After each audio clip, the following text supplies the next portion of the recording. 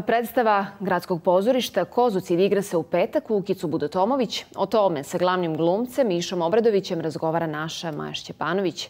Majo,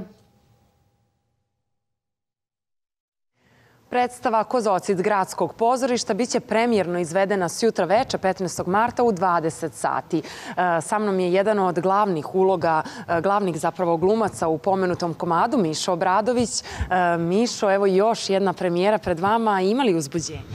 Kako nema, ovaj, pogotovo što um, igram u predstavi koju je i pisala i režirala moja profesorka koja me prije 18 godina i primila na akademiju i ovaj, radimo drugi put, radili smo Kanjoša Macedonovića prije sedam godina, ali to je bilo u Beogradu, sad u, mom gradu, ovaj, tu je Igor Đorđević, moj prijatelj, također njen student, i moji drugari i prijatelji iz gradskog, tako da ovaj, ima uzbuđenja i ja dočekam da, da, da večeras istrčim na scenu, imamo predpremijeru večeras. Da, vaša profesorka, kao što ste rekli, Vida Ognjenović, kakva je bila saradnja sa njom u okviru ove predstave?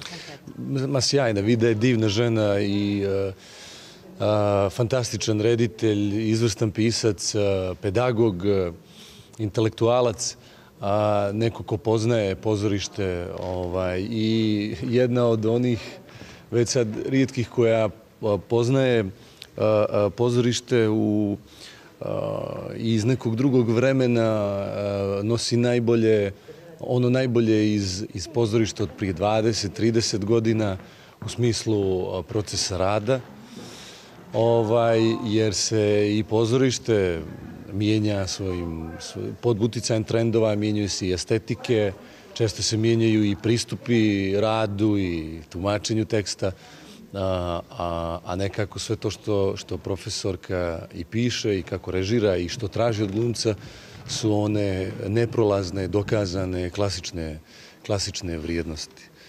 Ćemo da čujemo nešto i o samoj predstavi, o vašoj ulozi.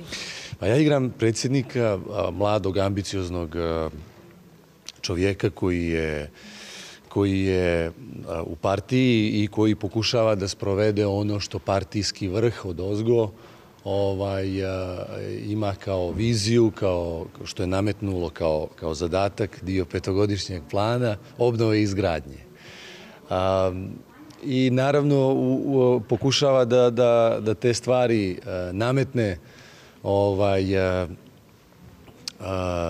svojim sunarodnicima iz najbolje namjere i on zaista vjeruje u, u, i u tu ideologiju i u tu partiju i ovaj, e, nije to nikakva ni demagogija, niti prevara. On je zaista čist u tome iskren, makar se ja trudim da ga tako igram, odnosno da ga branim. Jer e, poznajemo svi i jako puno ljudi koji su u politici iz najličnih i najdubljih uvjerenja. A nije sve samo interesna sfera. Da li su pogrešna uvjerenja, da li su dobre ili loše, to je neko drugo pitanje. Ovaj, da li su korisne, to je drugo pitanje, ali e, svakako ima najbolju namjeru. Tako da ovaj, e, u sudaru sa, sa, sa, sa njegovim sunarodnicima e, izlazi taj sukob koji je tema, tema ove predstave. E, Mišo, kako se vi pripremate za igranje jedne predstave? Sve nas onako zanima to nešto iza kulisa, šta se dešava. Recimo, vaš sutrašnji dan, evo pred premijeru, kako će izgledati? Da li imate neke posebne rituale? E, nemam nikakav poseban ritual, ono što bi futboleri uradili, izašli desnom nogom ili tako nešto. nemam tu vrstu rituala, nekako puštam da se to spontano meni samo približi i od predstave do predstave varira.